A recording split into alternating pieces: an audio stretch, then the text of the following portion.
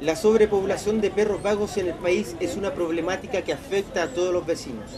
En la provincia de Loa también se vive esta situación, donde animales vagabundos se ven en todas las calles. En Calama, una agrupación privada trata de controlar y crear conciencia sobre el cuidado y tenencia responsable de mascotas. Eh, a través del tema de las actividades que realizamos los fines de semana o durante la semana tratamos de promover el tema de lo que es la tenencia responsable. Eh, dándole de forma gratuita a la gente implantación de microchip, ya sea vacuna, cosas así, control perrito sano, para que la persona ya sienta que el animalito es alguien más de la familia. La actividad se realizó este miércoles, poniendo énfasis en incentivar día a día a la comunidad loína a ser responsables con sus mascotas.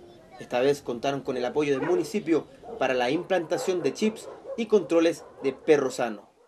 Primero dejar en claro que no es un sistema de GPS, ya, sino que es solamente un sistema de registro donde se asocia de manera definitiva un perro con un dueño. ¿ya? Es como un carnet de identidad eh, de la mascota. Bueno, el refugio Golfo se acercó al municipio hace, desde el año pasado, ya para que en sus jornadas de adopción eh, se pueda incluir la implantación del microchip.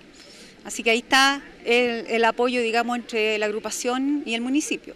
Una agrupación que busca recursos de manera solidaria para mantener a los animales que tienen en adopción y dar cabida a aquellos que aún no tienen familia, así como también a los que son acogidos y sus dueños quieran prestarles más atención. Está bien, si hay muchos perros botados acá en Calama y que baje un poco la, la esta de perrito, está bien. ¿Tú le recomendarías esto también a otras personas? Obvio, todos tienen que ayudar, todos. Si estas dos perritas son de la calle, las dos son de la calle, entonces un granito de arena hace mucho.